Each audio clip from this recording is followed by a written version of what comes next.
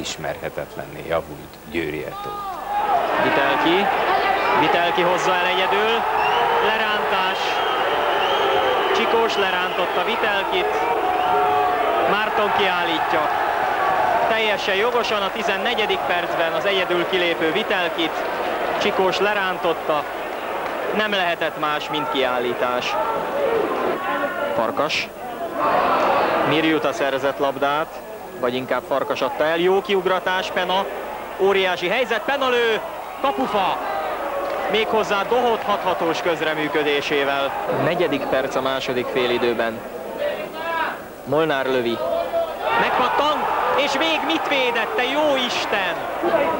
Csertői, Bordás. Pena. Nagyon szép. Pena lő. Dohot fogta. Tizedik perc a második félidőben. Bordás bedobása. És gól! Mindenki elaludt, kivéve Csertőit.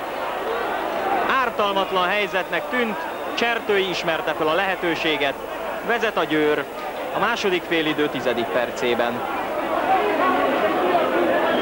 44. perc a második félidőben Molnár, Mirjuta fejelte ki, Bém, Budai, kapura törhet Budai, gólhelyzet, végfogja meg ezt is. Szilágyi lő még vég ismét. Miket véd ez a győri kapus ma?